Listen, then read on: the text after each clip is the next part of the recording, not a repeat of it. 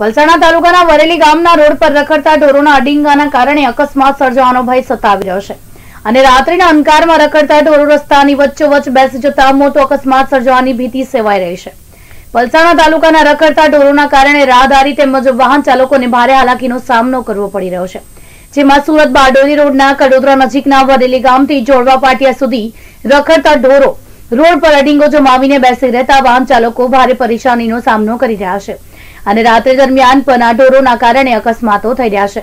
જેના કારણે એક તરફ વાહનોની અડફેટના કારણે ગાય માતાઓના પણ મોત નીપજે છે. ત્યારે માત્ર ગૌરક્ષકોનો ઝંડો લઈને ચાલતા કહેવાતા ડંભી ગૌરક્ષકો રખડતી ગાયો માટે કેમ કોઈ કાર્યવાહી કરતા નથી તેવો પ્રશ્ન પ્રજામાં ઉઠવા પામ્યો છે.